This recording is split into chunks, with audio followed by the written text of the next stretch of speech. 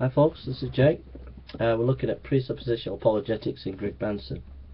So when we come to debate someone or discuss someone with a Christian faith, Greg Bahnsen would do then is once uh, he comes to talk to someone, he would see them as not being neutral, and then he would begin to challenge their presuppositions. Now, what we what Greg Bahnsen would do is do an internal. This is key. Now, listen to this. This is very important he would do an internal critique of the opposing person's presuppositions and look for whether there is consistency or inconsistency inconsistency with that person's presuppositions. So, for example, um, the presupposition of most atheists is that all that there is is material.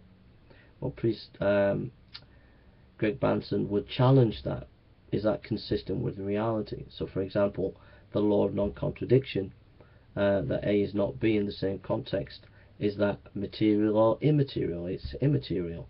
So therefore, it, the internal critique of the atheist position that all that there is is the material breaks down under internal critique. So we do an internal critique. We take um, the position of Hinduism or Islam and we do an internal critique of their presuppositions. Uh, and that's what Greg Bahnsen would start to do. He would begin to look at the opposing worldview and do an internal critique of its presuppositions. And that and and now I'm going to show you how he would do that with particular views. All right.